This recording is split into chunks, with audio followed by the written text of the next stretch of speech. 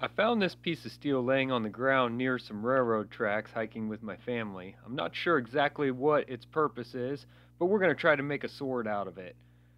I will say I dropped this piece of steel so many times that I put a blooper reel at the end for you. The first thing I'm going to do is straighten the spring out with my rounding hammer. Just try to get a nice straight billet. You see right here I did switch over to using some horse hoof nippers. These are basically giant toenail clippers.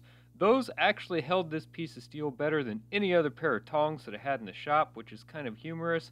But this particular spring has a notch in the end of it that those nippers fit perfectly.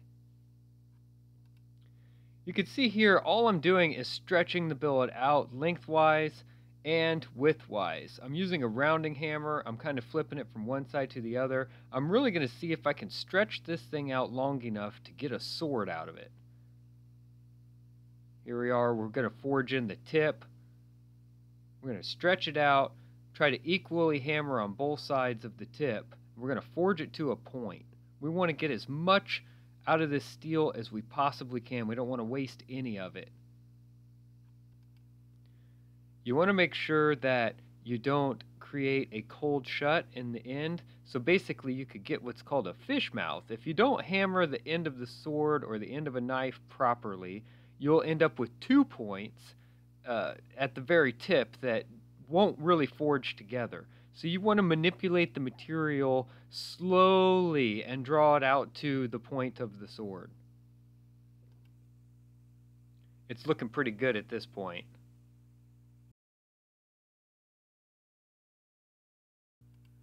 After I get it drawn to a point, I'm going to continue to flip it flat and start to thin it out at the same time. You're slowly moving the material in all the different directions, trying to achieve a nice symmetrical shape. This is starting to look really good. It appears that I will have enough material to make a sword. Now I'm going to forge out the tang of the sword. This is going to be a hidden tang sword with a screwed on pommel nut.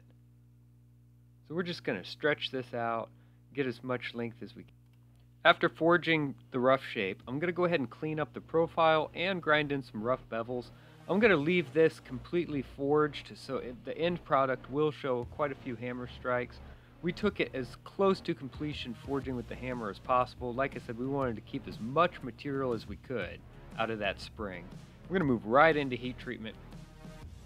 First thing I'm going to do is light up the forge and throw my chain in there. I use this chain to preheat my oil. I think that it works really well. I've got a nice long tank so the chain's able to heat the oil all the way to the bottom. There we go. Try to put that flame out quickly. Now I'm going to pass this blade through all the way from front to back continually. This process takes a good five or eight minutes until I get a nice even heat that you saw there, and then we go in for the quench. I'm doing an intermittent quench here so that we can kind of get that springiness back into the steel. Right after this quench, I throw it in the kitchen oven for 425 for two hours to temper it back to a nice springy state. Wire wheel the flats. Now we're looking right at the guard material here. Let's go ahead and mill this slot this is going to be the part that mates right up to the end of the sword. I use an end mill slightly smaller than the width of the sword and then I'll hand fit it to the sword itself.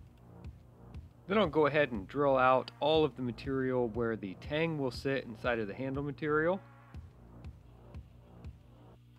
We need to create some threads for that pommel nut, so we're going to go ahead and make a round tang here and thread it.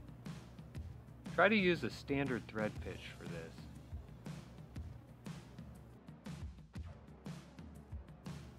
When making the pommel nut, I'm going to go ahead and drill a hole first, right there, and tap the hole for the tang of the sword. And then, after the tapping process goes smoothly, I'll go ahead and further shape this pommel nut. This is possible to do without a lathe. You can do this on a drill press and some files. I'm not going to get too fancy with this pommel nut, but it is really nice to have a lathe to do this sort of work. Go ahead and part your piece off, flip it around, clean it up with some files, polish it with some sandpaper, and let the lathe do all the work for me. Work smarter, not harder. I did decide that I wanted a dark blade, so I threw it in my etching tank. This is ferric chloride and distilled water. We're going to put the guard on first, our piece of ebony next, quilted curly maple next. These are stabilized, by the way.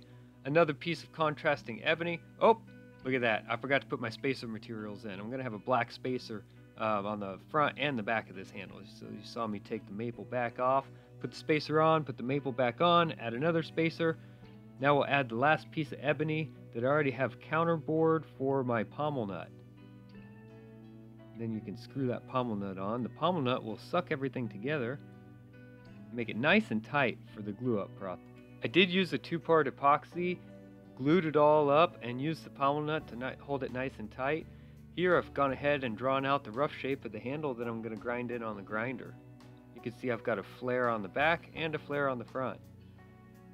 The sides are nice and flat and true, so I can lay it on its side and use this contact wheel to go ahead and cut in the sides.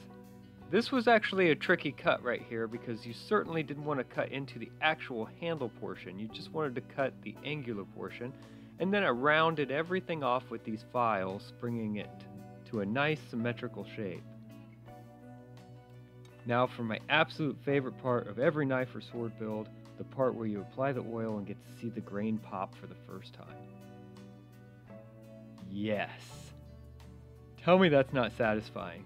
That marbled ebony, the stabilized maple together, got a couple black liners in there. It's absolutely gorgeous. Fantastic. I will put several coats of oil on this over the next couple days.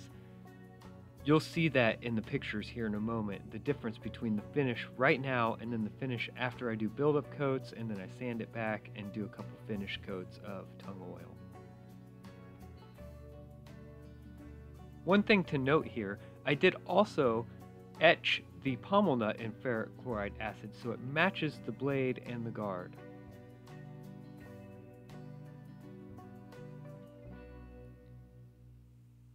Loving that.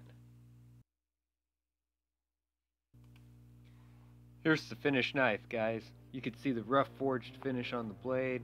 The bevels came out nice. The handle came out absolutely amazing. It fits perfect in the hand. It's excellent for thrusting. It chokes right up on your hand perfectly on that front guard. The pommel nut is a great skull crusher. And here's the bloopers. Look at how many times I dropped this piece of steel. I just could not get it figured out until I started using those nippers. If you guys enjoyed this video, please don't hesitate to give me a thumbs up. And if you haven't yet subscribed, also click the subscribe button so you don't miss any of my future content. Thanks, guys.